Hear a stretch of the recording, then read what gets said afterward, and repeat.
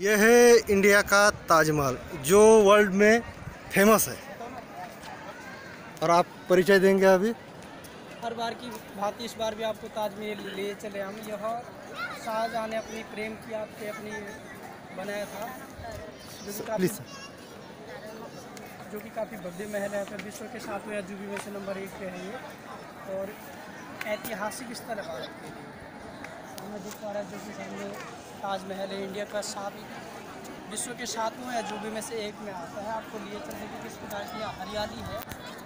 हम ये चारों तरफ़ इसके गेट बने हैं बाउंड्री बनी है पूरे इस तरफ़ पूरे पूरा है इसका यहाँ पे किया गया है।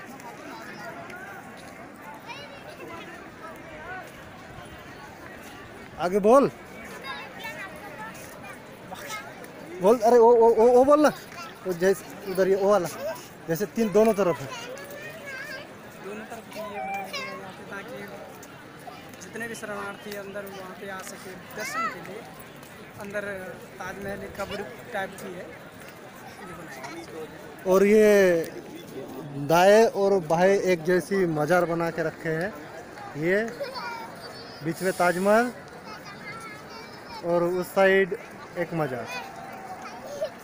हो गया? मेरा ले ले। इसी इसी में इसी में ले ले। अभी हमारे सहायक दोस्त हमारे सिंधे सर जो कि आपको ताजमहल के बारे में दो शब्दों से पूरे जैसे मजार है चारों तरफ़ एक जैसे पीछे नहीं है ये दाहिने साइड है एक बाएँ साइड और एक आगे साइड। तो ओके चले सर। Thank you